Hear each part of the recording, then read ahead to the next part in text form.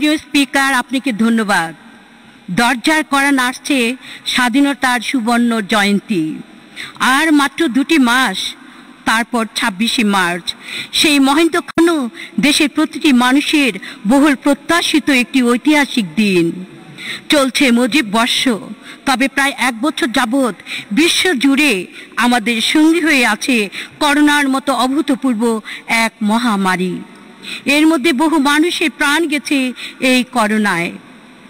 হয়েছে অকাল মৃত্যু। না ফেরার দেশে চলে গেছেন আমাদের প্রিয় অনেক সতীর্থ, খ্যাতমান ব্যক্তি।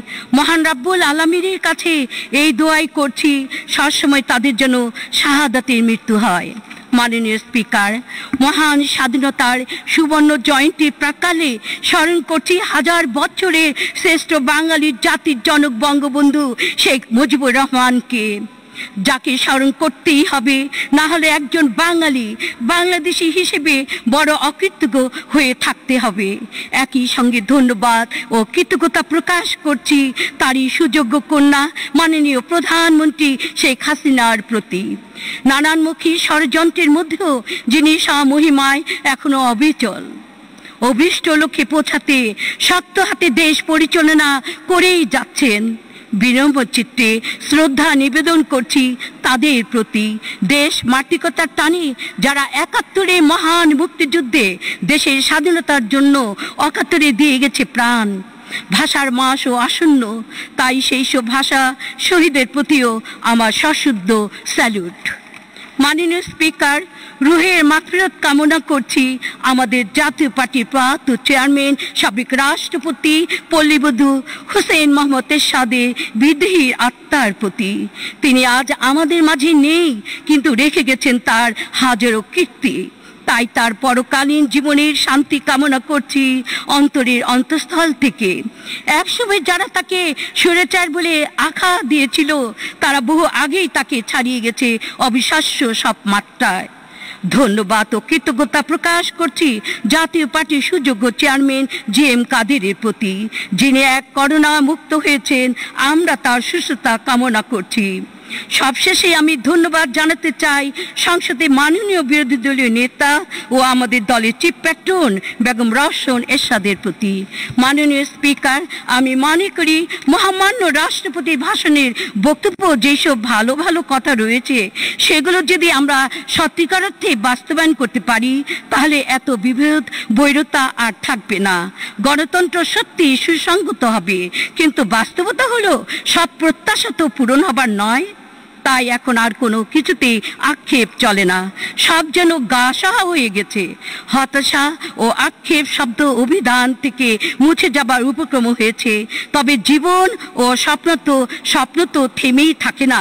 তাই নানান প্রত্যাশা মানুষকে তার গন্তব্য পর্যন্ত বাঁচিয়ে রাখে। মাননীয় স্পিকার, গত দুদিন ধরে ভাবছিলাম, মহামান্য রাষ্ট্রপতির ভাষণের উপর জাতীয় সংসদে দাঁড়িয়ে আমি কি বলব?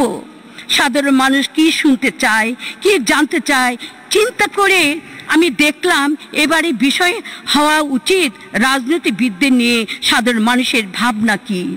চট করে উত্তরটাও আমি পেয়ে গেলাম। সাধারণ মানুষ এখন আর আমাদের নিয়ে ভাবে না। বেশিরভাগ রাজনীতিবিদকে তারা বিশ্বাসই করে না। মাননীয় স্পিকার, আমি মনে করি এটি আমাদের জন্য বড় এক চ্যালেঞ্জ সাধারণ মানুষ ও ভোটাররা যদি আমাদের বিশ্বাস না করে, তাহলে এই রাজনীতি, এই কথিত আত্মত্যাগ কাদের জন্য? অথচ ইতিহাসের পাতায় প্রয়াত বহু রাজনীতিবিদদের নাম স্বর্ণাক্ষরে লেখা আছে, যাদের আদর্শ ধারণ করে এখনও অনেকেই রাজনীতি করেন এবং রাজনীতিতে আসেন। যেসব নেতাকে এক নজর দেখার জন্য মানুষ স্বেচ্ছায় পঙ্গপালের মতো ছুটে আসতো, তাদের বক্তব্য শুনতে শুনতে মানুষ ঘণ্টার পর ঘণ্টা ঠায় দাঁড়িয়েই থাকতো। তারা এক একজন ছিলেন সেই পৌরাণিক গল্পের হেমিলানের বাসিওয়ালার মতো। কিন্তু সেই সব মহান মহান নেতাদের উত্তরসূরি হিসাবে সেই মানের রাজনীতিবিদ কি এখন আছে? থাকলে তার সংখ্যা কত হবে? জনমনে এটি হয়তো এখন বড় প্রশ্ন। মাননীয় স্পিকার, আমি রাজনীতিতে বেশি দিন আসিনি, কিন্তু যত সামান্য এই পথ চলার কিছু তো আমি শিখেছি, এখনও আমি শিখছি, দেখছি এবং ভাবছি, কিন্তু কিছু কর্মকাণ্ড দেখে শুনে কখনো আমি লজ্জিত হই। বিব্রত বোধও করি, তবে মান্যবর গুরুজনদের কাছ থেকে যেইটুকু আমি শিখেছি, তাতে রাজনীতি মানেই প্রথম কথা হলো আত্মত্যাগ। নিঃস্বার্থ জনসেবা, মানুষের সেবায় নিজেকে বিলিয়ে দেওয়া। যেমনটি করে গেছেন বঙ্গবন্ধু শেখ মুজিবুর রহমান সহ বেশ কয়েকজন খ্যাতিমান রাজনীতিবিদ। যাদের নামের সঙ্গে কোনো বিশেষণ যুক্ত করতে হয় না, তারা প্রত্যেকে এক একটি প্রতিষ্ঠান, আপন মহিমায় সমুজ্জ্বল।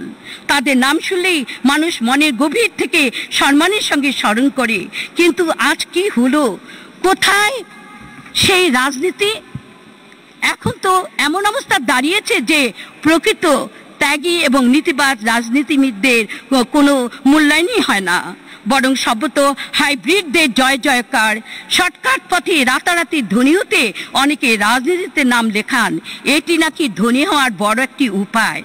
একটি দলের যার নিজের এবং পরিবারের অতীত কোনো অবদান নেই, তিনিও বিশেষ সংযোগে হঠাৎ বড় নেতা হয়ে যাচ্ছেন। তিনিও, তিনি পদও পাচ্ছেন, এমনকি কেউ কেউ মহান সংসদে ঢুকে- ঢুকেও পড়েছেন। কি দুর্ভাগ্য জাতির। তাই সাধারণ মানুষ মনে করে রাজনীতি এখন একটা ব্যবসা। বাস্তব মাথার ঘাম পাই ফেলে ব্যবসা করার চেয়ে এখানে যোগ দিয়ে খুব দ্রুত ধনী হওয়া যায়। এই রকম একটি পারসেপশন সমাজে এখন তীব্রভাবে প্রতিষ্ঠিত হয়েছে। মাননীয় স্পিকার আমাদেরকে সম্মিলিতভাবে জনমনে বদ্ধমূল থাকা নেতিবাচক এই পারসেপশন দূর করতেই হবে, এটি সময়ের দাবি। আমরা যারা এখানে আছি, তাদের অনেকেই ষাটোর্ধ। কে কদিন বাঁচবো কেউ জানি না, কিন্তু আমরা কি রেখে যাচ্ছি পরবর্তী প্রজন্মের জন্য? তারা আমাদের জীবন লক্ষ্যে নিয়ে কি গর্ববোধ করতে পারবে? যদি না পারে, তাহলে এই জীবন আমাদের বৃথা হয়ে যাবে। তাই রাজনীতির এই অন্ধগলি থেকে যতদিন আমরা মুক্ত হতে না পারব, ততদিন গণতন্ত্র ওই অর্থে সুসংগত হবে না। দেশের সরকারও থাকবে, দেশ উন্নত হবে। আঠেরো কোটি জনগণের ছত্রিশ কোটি হাত বেঁচে থাকার তাগিদে কাজ করেই যাবে। আমাদের অহংকারের প্রতি প্রবাসী ভাই বোনেরাও রেমিটেন্স পাঠাতে থাকবে। আমাদের রিজার্ভ বাড়তেই থাকবে, বাড়বে জিডিপি কিন্তু একটি গণতান্ত্রিক, মানবিক, মূল্যবোধের রাষ্ট্রে আমাদের অবস্থান কোথায় থাকবে, এটি অবশ্যই আমাদের মূল্যায়ন করতেই হবে। তা না হলে রাজনীতিকে একসময় জাদুঘরে পাঠাতে হবে। মাননীয় স্পিকার, জনবিচ্ছিন্ন রাজনীতির চূড়ান্ত বিচারে আমাদের কখনো ভালো কিছু দিতে পারবে না। ওইটি ঐতিহাসিকভাবে পরীক্ষিত। এতে করে জনগণের মধ্যে যে আস্থাহীনতা ভয় করছে, তা দিনে দিনে আরও বাড়বে। বিনিময়ে আমাদেরকে শুধু অন্ধকারের সিঁড়ি পাড়ি দিতে হবে। যেখানে একসময় টানেলের শেষ প্রান্তে আলো দেখাও মিলবে না। এর ফলে রাজনীতিবিদরা কখনো বিপদে পড়লে সাধারণ মানুষ পাশেও থাকবে না। কর্মচারী শাসকের ভূমিকায় চলে আসবে। তাই আমি মনে করি, সময় এখনও ফুরিয়ে যায়নি। সর্বোচ্চ চেইন অফ কমান্ড ঠিক রেখে সাধারণ জনগণকে বেশি করে ভালোবাসতে হবে। যিনি জনগণের প্রকৃত ভালোবাসা বুকে ধারণ করতে পারবেন তিনি হবেন প্রকৃত সফল এবং সার্থক রাজনীতিবিদ। আল্লাহ রহমতে সব ষড়যন্ত্র তার জন্য সাময়িক। বলিষ্ঠ নেতৃত্বের গুণে সব বিপদ তিনি উত- উত্তরে যাবেন এক সময়। মাননীয় স্পিকার, অর্থ পাচার ও ঋণ খেলাপির ঘোর তাপ থেকে আমরা এখনও বের হতে পারিনি। সামাজিক যোগাযোগ ও গণমাধ্যমে এই দুইটি ঘৃণিত বিষয় নিয়ে প্রতিদিনই খবর আসছে। এক শ্রেণির চাকরিওয়ালারা বিদেশে গাড়ি বাড়ি সহ বিপুল পরিমাণ সম্পত্তির মালিক হয়ে গেছেন। বেগম পাড়ার খবর তো বেশ পুরনো। উন্নত দেশগুলোতে এখন নাকি এইসব পাড়া আরও সম্প্রসারিত হচ্ছে। আমাদের পাশাপাশি পিছিয়ে নেই। রাজনীতিবিদ ও কিছু ব্যবসায়ী মহলও তারা নাকি দেশের সম্পদ রাখতে ভয় পায়। কিন্তু কেন? হালালভাবে পয়সা উপার্জন করে থাকলে ভয় পায়েন কেন? মাননীয় স্পিকার, অর্থ পাচারের কথা শুনলে আমরা মনে, আমার মনে প্রথমে একটি প্রশ্ন জাগে। তা হলো, কার টাকা কে নিয়ে যাচ্ছে বিদেশে? যে ব্যাংক থেকে ভুয়া এলসির নামে অর্থ পাচার করা হচ্ছে, সে তো জনগণের টাকা। আমার আপনার সাধারণ মানুষের সঞ্চয়ের টাকা। এটি ব্যাংক মালিকদের অর্থ নয়, বরং ব্যাংক মালিকদের অনেকে যত সামান্য অর্থ দিয়ে ব্যাংকের মালিক হয়েছেন। বিপরীতে বিভিন্ন ব্যাংক থেকে তারা ভাগাভাগি করে ঋণ নিয়েছেন কয়েক হাজার গুণ বেশি।